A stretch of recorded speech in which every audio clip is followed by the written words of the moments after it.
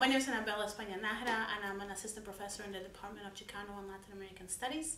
Um, and I implemented the affordable learning solutions in my um, Latin American Studies class, which is our CLES 170 and covers Latin American history, um, basically from the conquest all the way to the 20th century.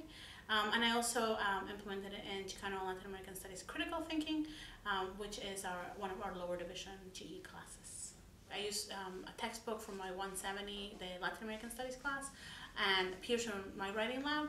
Um, and so the fact that students can get it bundled and save a little bit of money, I think it's a good option for them.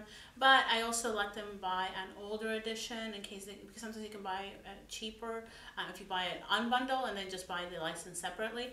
Um, so I think students appreciate having choices um, so that they can try to save money. Um, but I think you have to make it um, really clear what those choices are because if not, they can also get a little bit confused. It's you know textbooks have increasingly getting more expensive for students, um, and I know that our student population in particular, that a lot of them work and um, get into debt for their university degree. And so I think it's important for us to try to take that into account when we're making choices. And of course, you have to kind of balance that with the quality of the information that you're giving them as well. Um, so I try to kind of reach a balance between those things, kind of keep the cost in mind.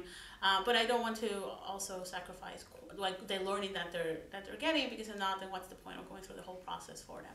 Um, so that's kind of why I think it's it's important try to think about those things. And a lot of the things, you know, I think are small things that we can do, um, like getting our orders in on time and things like that, which you know we talked about in the in the uh, faculty learning community, and a lot of them are really obvious and we sort of know about it, but it's you know, when somebody tells it to you and the impact that it has, I think it's really it can be really positive.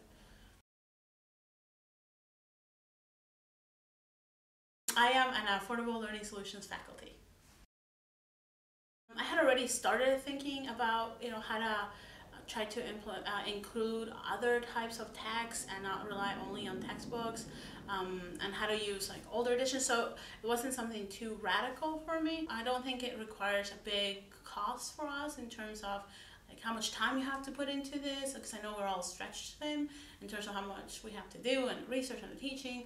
Um, but I think that these are small things that we can do that don't take a lot for us and can be a big help for students. So I think it's worth um, doing the faculty learning community and kind of just learning about some of the small changes that we can make in our class that are kind of um, not very difficult to make and I think have a really good positive impact.